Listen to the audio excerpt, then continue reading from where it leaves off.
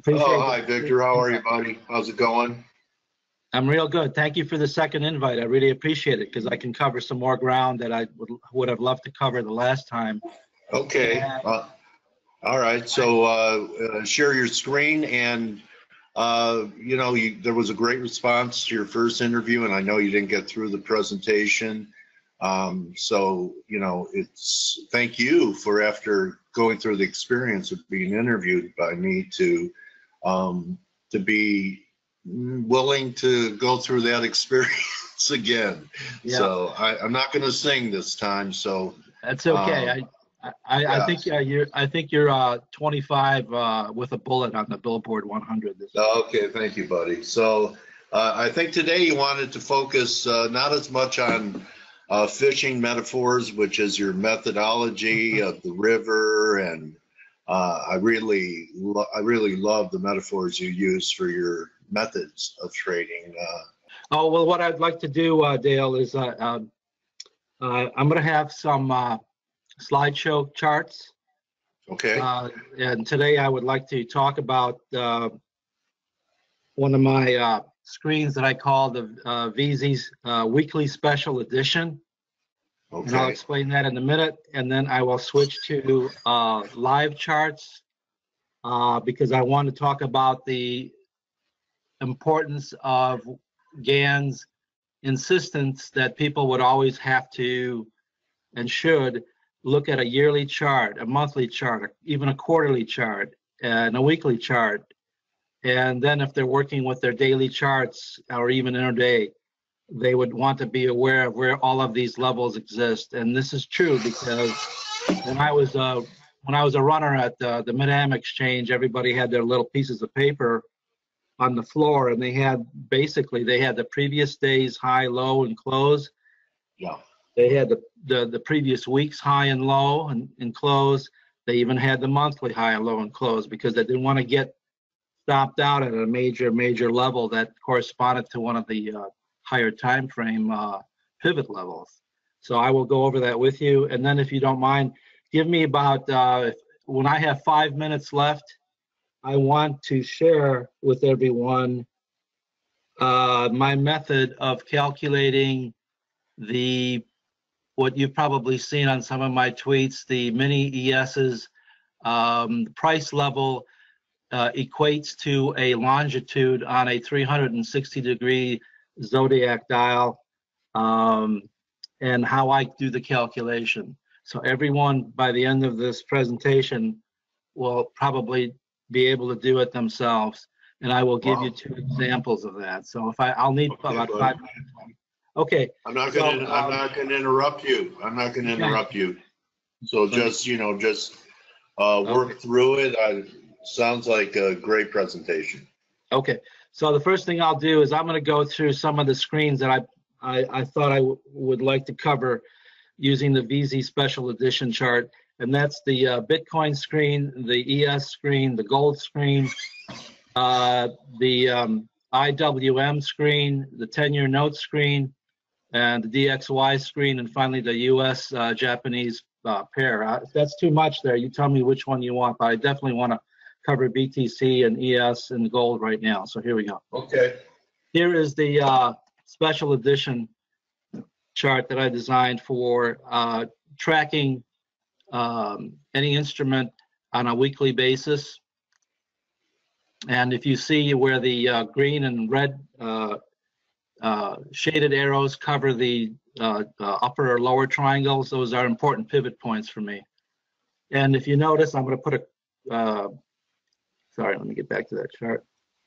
Uh, If you notice that the, uh, the low made in July, there's a green pivot there at the bottom. It Yeah. Crosses the river and then uh, we would take a tra- a long trade once it crossed the river and the triangle um, closed above the top of the river, which is the upper, you know, uh, blue line. Um, Now, we reached the high up in um, late August and we dropped into the river and we made a, a pivot low in September and now we're kind of like in the middle of the river. But I use a weekly chart because it tells me when I trade on a daily basis or, or uh, intraday where these levels occur. It's always written down in front of me because I want to know if I'm getting into some sort of major pivot reversal area. Okay, I'll go to the next chart and that is a, um,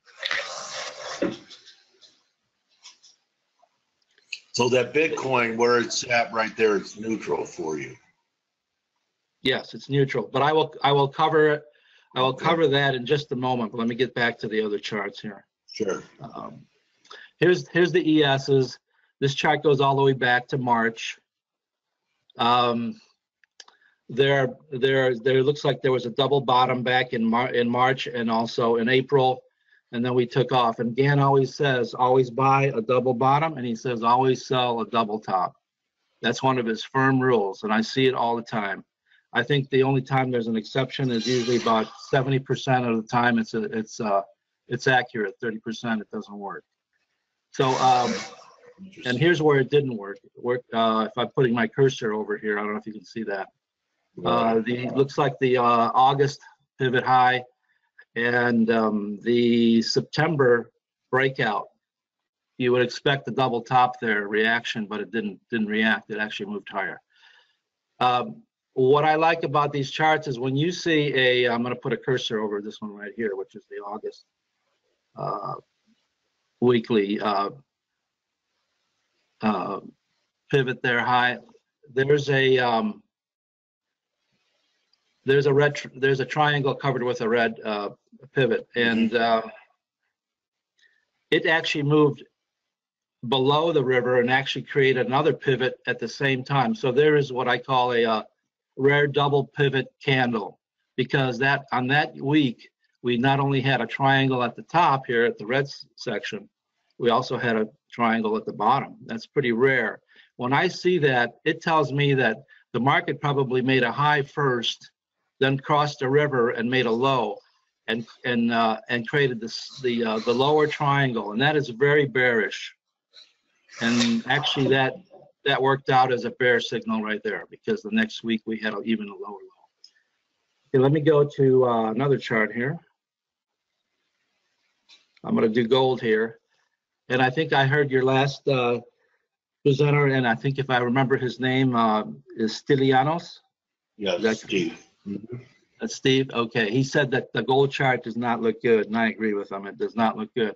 Here's the weekly uh, uh, special edition for gold. Uh, Let's see if we have any special pivots here to talk about. Uh, But um, we had a double, we had a triple bottom right here, back here, back here, and here. We had a triple bottom. And what does Gann say about triple bottoms? He says that you should buy a triple bottom.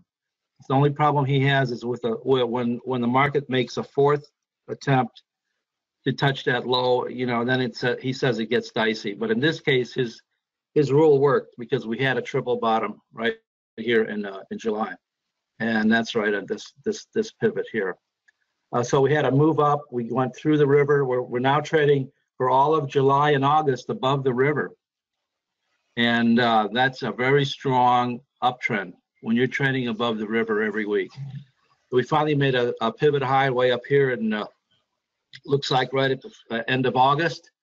And then we started to collapse. We went through the river and now we're now trading below the river. Did your work, did your work predict that pivot high up there with the red arrow?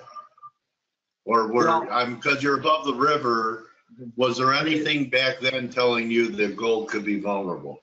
That's a great question. And the answer to that is because I'm looking at my notes. I was making my notes last night. And uh, I'm trying to find if I can get you the answer to that. But if I don't have the answer, I will tell you that the, the method that I use to uh, square numbers, and I would square a number off of this pivot low here, where the arrow is, and I would project 180 degrees or 360 degrees or 720 degrees. And if I get to a level which is um, the 180, the 360, the 720, the 1080, I'm looking for a change and a reversal.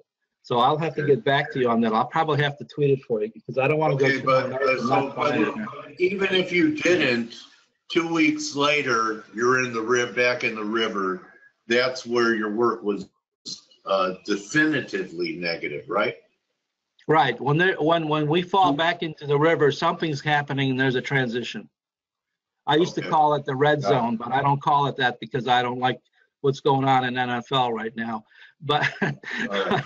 that's my little joke there. But anyway, uh, yeah, when Hey, we I'm, uh, into the I'm river, I'm we're taking going a in- knee during the broadcast here, buddy. That's that's good. That's real good. I like that.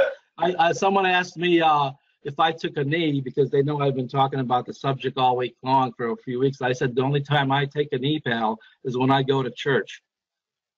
I knew you were gonna say that, man. Okay. And yeah, All right, so yeah, so that's a very good observation. The observation is, how do I use these, this, this screen? I use it with a uh, Gann square nine, and I start calculations at pivot. So I, I'll calculate off of this low, I'll calculate off of this low, I'll calculate calculate off of this high, and I'll start to calculate the downside off of this pivot high here. So let me go to another one here real quick for you. What I have left. Um, we covered gold, so, uh, do you want to do, uh, IWM? sure. The same thing with IWM. We had, um, get it back. right Yeah. It was IWM. Okay. yeah. We've got this. That's the low. I was- Russell, for anyone who doesn't know the ETF, that's domestic stocks that usually do better when the dollar's stronger. So go ahead. That's buddy. right. All right, so I'm, and I've got a dollar screen coming up too. Uh, well, I would do a calculation off of this pivot low here where the green, the green uh, arrow covers that triangle there at the bottom of the, of the candle. And you notice there was a transition period. We went into the river right here. We broke out of the river and I would use the um, close. Well, in this case, I would, I would, uh, it closed inside the river. I would wait for it to trade above uh, the river the next week, which is right here. If it's trading above the river, I would take this trade as a long trade because it's it's got my qualifications.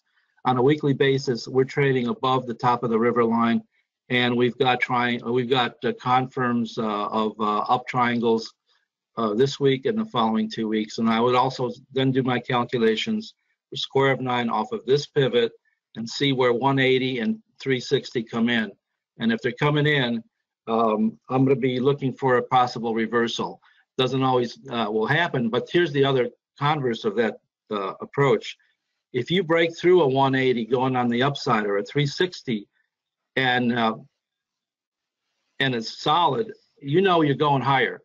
That's the beauty of this method is that um, it's a resistance that is created at the natural 180, 360 levels um, or even 720 levels. But when they break through there, you're going higher. That's what has amazed everyone about this uh, market over the last, what, six years from the 20, Mhm. 2011 low? Yes. I think that's what's amazed everybody that keeps going higher. But uh, that's my observation about um, how, I- how I use the, uh, the 180 and 360 levels. I think they're very important to watch. And uh, there's also one other method that I have that I use in conjunction with this, and it's called the VZ Chronos method. And um, if people are interested uh, in that, they'd have to contact me. I'll have my uh, email address and uh, Twitter handle posted later. But the VZ Chronos method actually does a Fibonacci count. A Fibonacci count is um, from uh, major pivot lows to major pivot highs. But there are four other additional Fibonacci number numbers that I discovered that are not ever mentioned anywhere in any books that work. So that's that's why I call it the VZ Chronos method because Chronos refers back to the planet Saturn, which is the planet of time. And uh, I think Gann was very fond of uh, the uh, the uh, cycle that, that the planet Jupiter and the planet Saturn make in in their um, circle around our sun, and he felt that was a natural mm, uh, cycle that uh, you would have to want to pay attention to and see if you can compare it to market cycle highs and lows based on aspects that those two planets make in the course of uh, you know uh, trading uh, history. So Is that, um, is that where, when those two planets are in oppositions, that it's even more critical? Yeah, they could be in oppositions to each other. They could be conjunction, which is, means that they're both together at zero, zero degrees conjunction. They could be at But 90 what are- degrees. What are the oppositions that people read about in the Farmer's Almanac? Is it the opposition to Earth when you, we get these planetary oppositions?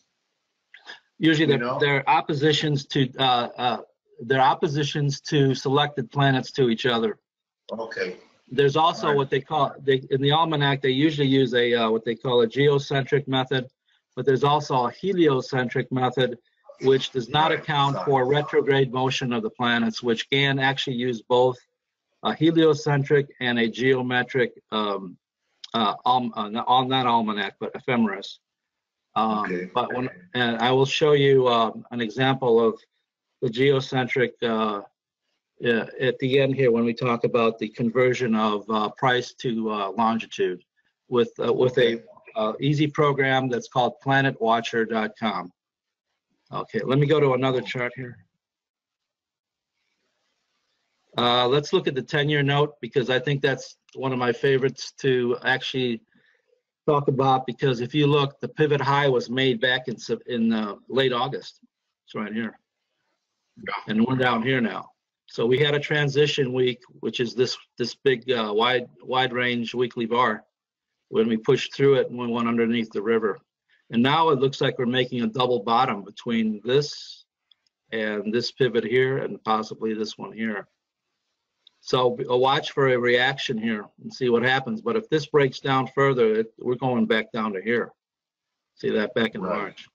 yeah, So my, my, so this chart looks kind of like the gold chart if you, if you look at the gold weekly chart because the, uh, the right side of the chart, always the toughest chart to trade because that's the unknown part of your chart.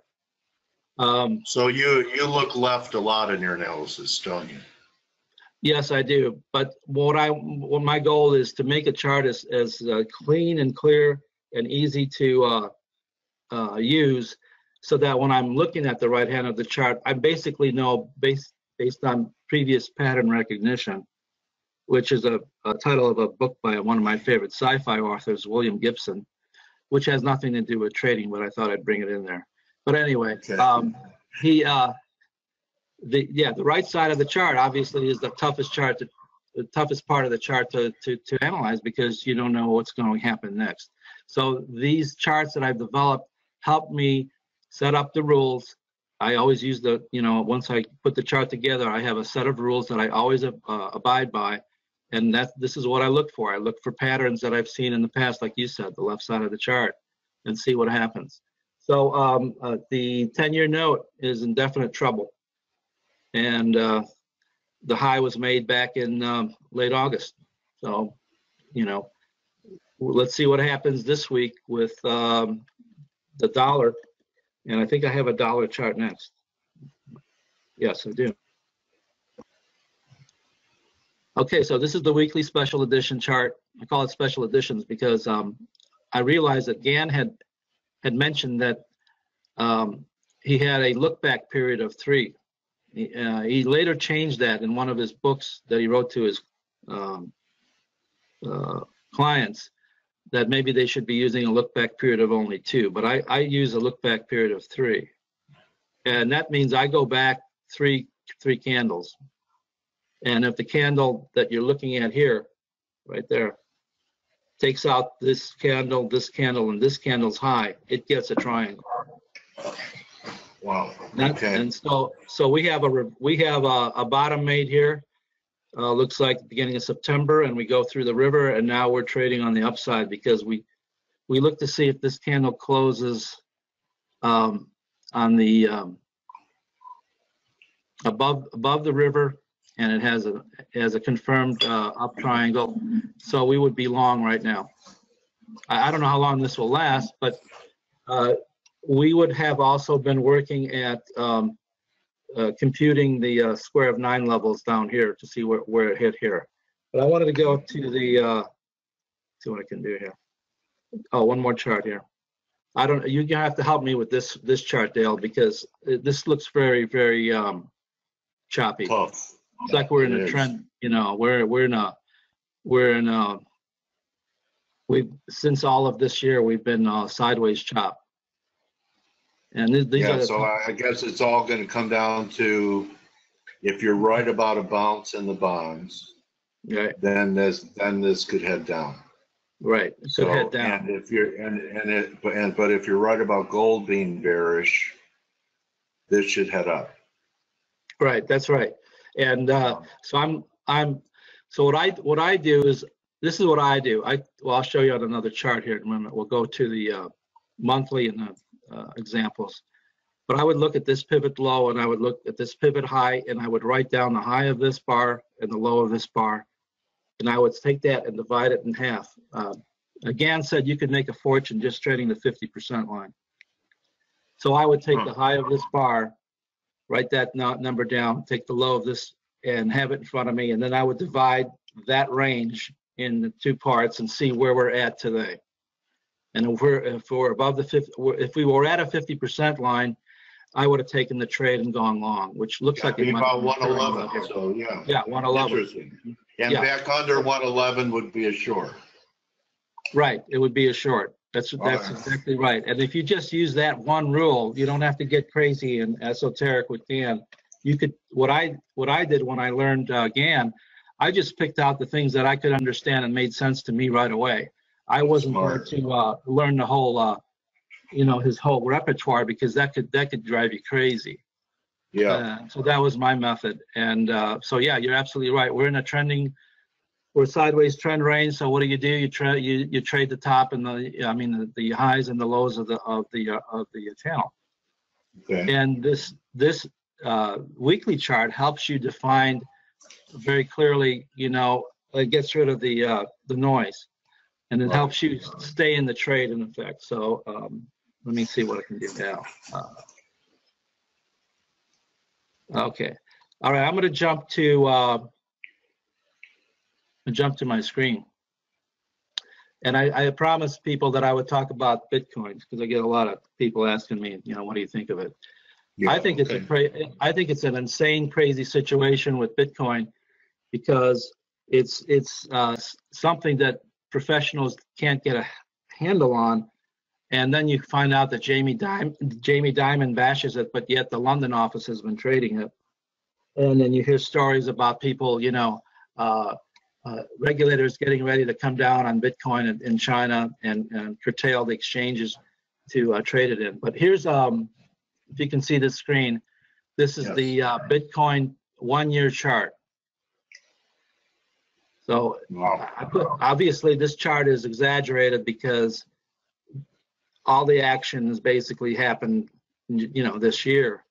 But if you had just been sitting there like like somebody that uh, doesn't trade too often and traded the highs of each year, you would have gone uh, long right, right there.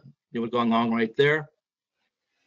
Um, and uh, And if You we finish like this, you go long at the end of the year here.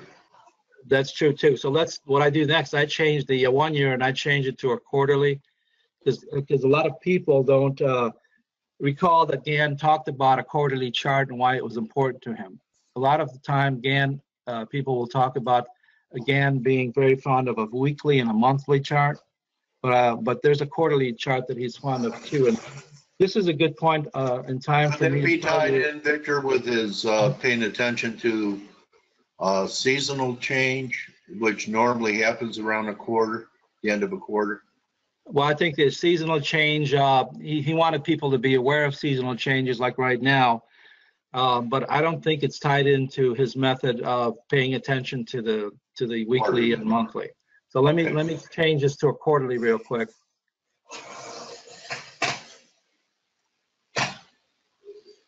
Okay, here's the quarterly chart. The same deal. This low right here was the January, uh, first quarter 2015 low. The number was 109. Wow. If uh, these next two uh, quarters were inside bars. Yeah. So we had a breakout here. We had an inside bar. We had a breakout here. We had an inside bar. We had a breakout here. Now things get rolling because now we're trading. Now if we're trading the quarterly highs here and here and here, you have three solid trades with not a lot of um, um, effort to look at a chart and waste your time, you know, looking at it literally every minute, a a minute of the day. So, uh, like you said, we're, we're right here now. And method. so this is, this is, this is what Gann wanted you to be aware of. And I- it's a good time for me to tell you about his books. And I'm gonna go over it real quick.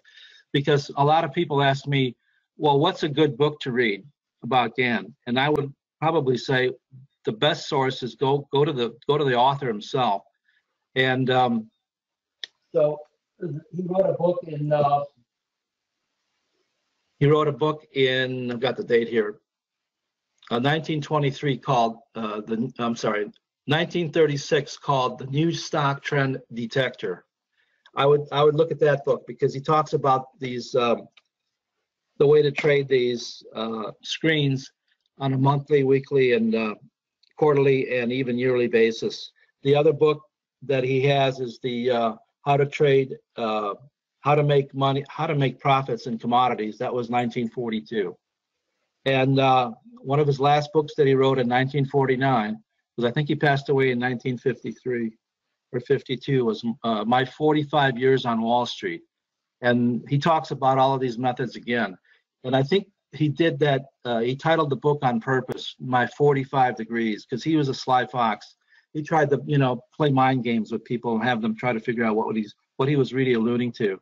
And 45 to him was a major, major, major angle when he constructed his, his uh, daily charts and he looked at the 45 degree angle, the 90 degree angle, and 180 degree angle. So the other two books that I would recommend, he wrote a commodities course and he wrote a stock trading course. And uh, those are the other two books that are probably so comprehensive. They include elements of all of all of his other stuff in his previous books. So I just wanted to mention that to you. And uh, let's go to um, a one. One, one, uh, one of our members is saying he went to India, Bangladesh, uh, Bangalore to learn about the nine planets. Is Uh, that I true in his history? Why I've heard that that's that's true that he went to India to learn about the planets and probably about the pyramid and how it relates to the um, gra- the graphic representation of a square of nine chart, which I don't have to show you tonight, but um, Wow. I, I think that's where he discovered the square of nine method. He also uh, was a he was also a big buddy with an astrologer, an English astrologer, William Old Gold. William Gold was his name, and uh, his name his his pen name was Sepharial, S E P H E R I A L. And I've got a lot of his books, and they're excellent books if you want to learn about astrology, written in a in a very uh, intellectual but uh, easy to read method. In fact, he belonged to a uh, as, he belonged to an astrological slash theosophical society that was run by uh, a woman called um, Madame Blavatsky, and that was probably in the 30s and the 20s. And they kicked him out because he was giving away too much stuff in his writing. So I thought that was pretty interesting as a character. You know, giving away too much stuff is not allowed in these societies. So, but anyway, They wanted- They wanted to sell it or- Yeah, they or wanted keep it a secret. Keep it Yeah. a secret, Right. So Yeah. here's a, um, here's a one month chart. Let me get it changed here for you.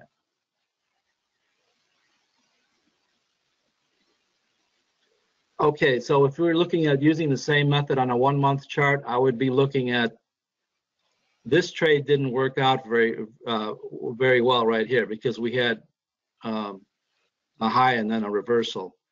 But here we, here, here, here's a trade right here. Uh, here's somewhat of a trade and here's another one. And here was another one, and here's a reversal. So, you know, you gotta watch what you're, what you're up against. And, um, Wow, yeah. right now, um, because there's a lot of, a lot of, uh, we don't know who the players are, the bigger players that uh, ha- can move the market like this, you know? But, uh, Jamie Dimon certainly, um, Yeah, but Jamie didn't fire those traders in, in London. He said he'd No. fire anyone.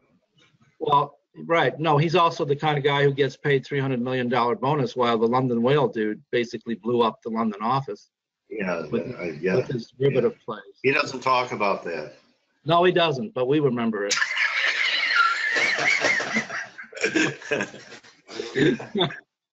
Okay, I moved it to a one week because I think the one week is more, is more, ac- is more uh, something that you should pay attention to definitely with Bitcoin, because if you look at the one week chart, if you start going back to here, and I know uh, woulda, coulda, shoulda is uh is a term I like to use because people say, well, what good is your chart? You you could have you're just looking at stuff that happened already. You weren't there when it happened. I said, yeah, I know, but you know, I want to give you some examples to go forward.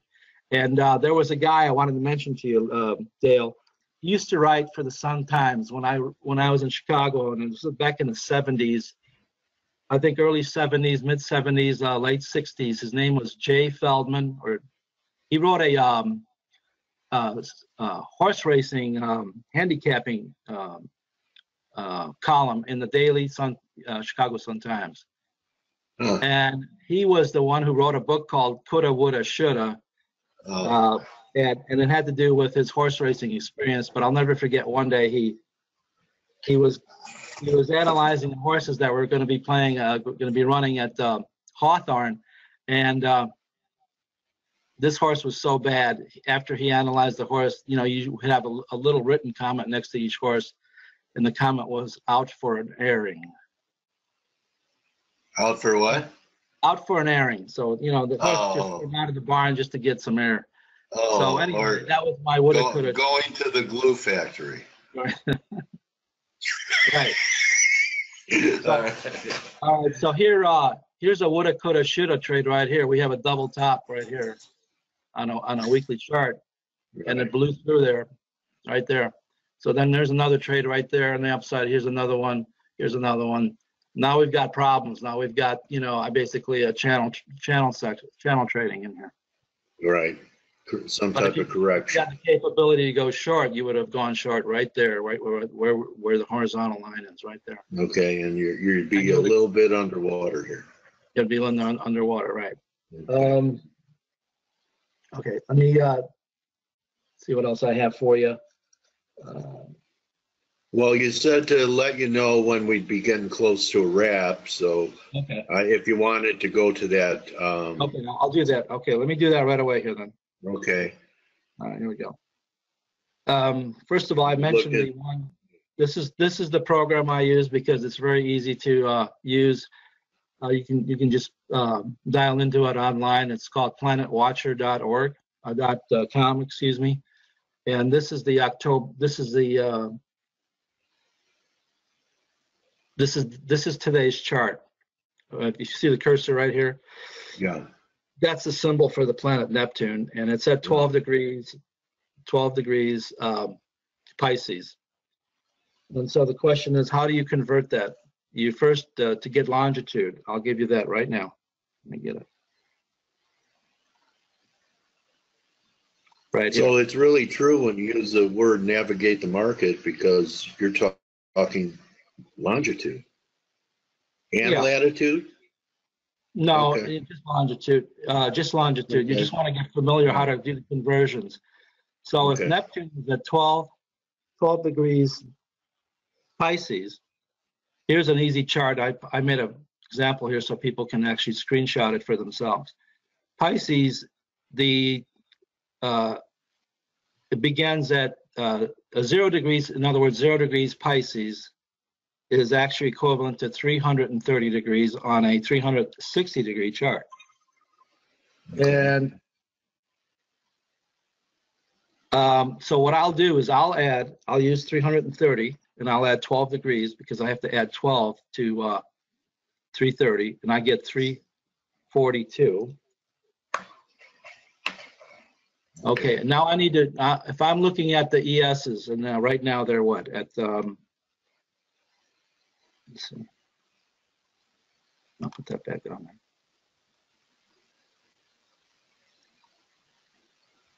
Uh, the ES, let me check where ES is for you.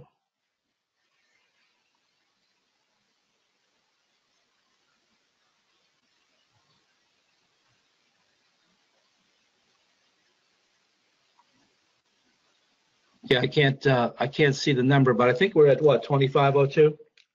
Yeah, Okay. Here's the way Gann would do it. He would take 2502. And I like the ESs because they work very well with the 360 degree um, circumference of the of the uh, zodiac signs. So I take 2502 and I have to find out how many 360 degree rotations go into that number at any given at that time. So if I divide the 3502 by 360, I have a number of 6.95. So uh, I dropped the fraction and I multiplied 360 degrees by six. If I do that, I get a number of 2160. Follow that? I dropped the fraction. So at this level, I would, I know that I have a full rotation of six, uh, 360 degrees times six rotations. Now I take the number that the market's trading at, 2502, and I subtract 2160 from it. And I get, You're talking S and Ps, right? yeah, S and Ps. That's, that's my Okay, so favorite, it's- favorite thing to use, because I think it's, Yeah, twenty-five fifteen is a SPY and the S and Ps are twenty-five twenty-one right now. Well, well, what you can do with the SPY, is the, uh, w- you, you have to use a multiplier with the SPY. If you use the Right. SPY, you have to multiply the actual lower number by 10, and you actually then end up at pretty close with the ES levels. So if I subtract 2160 from 2502, I get a number of 342. 342 is very close to where Neptune is, because we just said Neptune is at what I say? Let me see what this. It's at 12 degrees. It's at 12 degrees um, Pisces, and that converts to 342 degrees. So you can say you can say the market is sitting right on the Neptune line, and you you see my tweets, you'll see me saying that. And why is that important? I've noticed that when the market is stuck right at at a major planet, the major planets for me are Neptune, uh, Saturn, Pluto, uh, Jupiter, the Sun, and possibly Mars. The minor planets like Venus and Mercury, I don't, I don't usually deal with. But we're at a level here where, where if we break above the Neptune line, which is right where we're at now, we could go higher. Or this could be an important rejection point. Now, do you remember the Trump low? We had a Trump low, which, um, I wrote it down.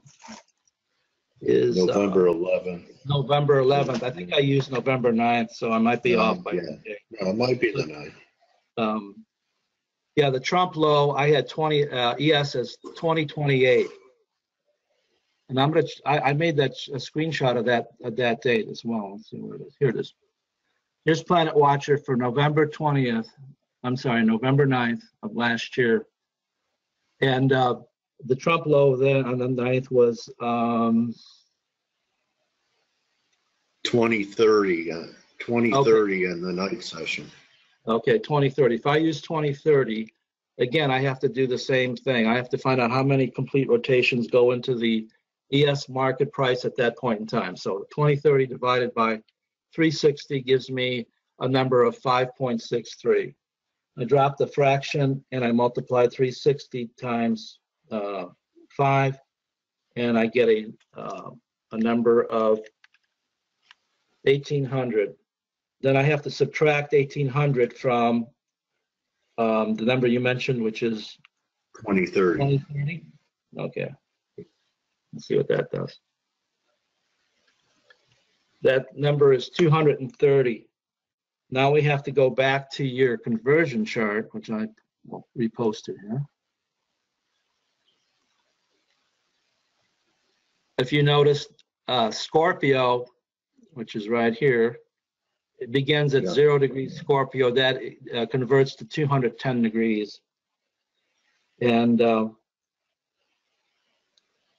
if the market is at 230 degrees, that means that the market was at 20 degrees. We, when we convert back to the regular method, we, we convert back to 20 degrees Scorpio on that day. And let's see where the chart was.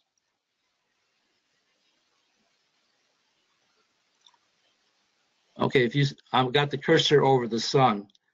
This is see. Scorpio. This is Scorpio. This is 300 and, I'm sorry, what did I say? Um, 210 degrees. This is where 210 degrees would reside. It equals zero degrees Scorpio. So if I add uh, 210 plus 17, I get 227. So for me, the Trump low was held because it had actually hit uh, the sun, the uh, sun's longitude line on that night. Hmm. So when I, when I, when I see the market move through all of these, and then we had the rally, obviously, it's moved all the way all up through here, and we're now way up here. So we, we had a, we've had a, you know, a good run. So that's why I use the planets, because I'm very, I'm very curious uh, uh, to find out why all this stuff works the way it does. So when, What a great, when a you great get- presentation, Victor. thank, thank you, Dale. So that I was mean, my, you know, uh, I- I'm getting comments, very interesting guest, Dale. Thank you for the knowledge. Um, the Gann emblem and uh, how do you interpret time cycles? So a lot of interest in the room. You guys are going to be able to um, uh, view this. It's recorded and uh, Victor's giving you information on how you reach him. Here's his email. And here's his Twitter. He tweets in my stream, books, charts, and uh, actually, I think he has his first interview pinned on his Twitter. So um, yeah. thank, thank you so much, Victor, for coming back again and you topped yourself. It was Oh. even more, even more informative than the last one.